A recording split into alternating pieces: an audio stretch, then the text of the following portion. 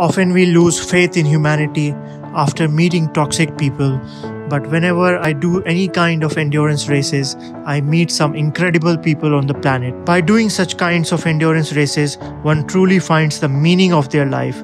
Otherwise, it's just like living a life like a machine. When you run such kinds of ultra marathons, you find your intellectual power. You get a different kind of confidence and courage. You develop leadership quality and personality development. Cricketing legend Sachin Tendulkar once said, We have all been sent down by God with some talent. We just need to identify that, and then from an uncut, unpolished diamond to a priceless diamond, it is a process and the journey won't be easy. Don't give up and don't find shortcuts. I think it is important to follow the right path always, and in tough times, tough people last.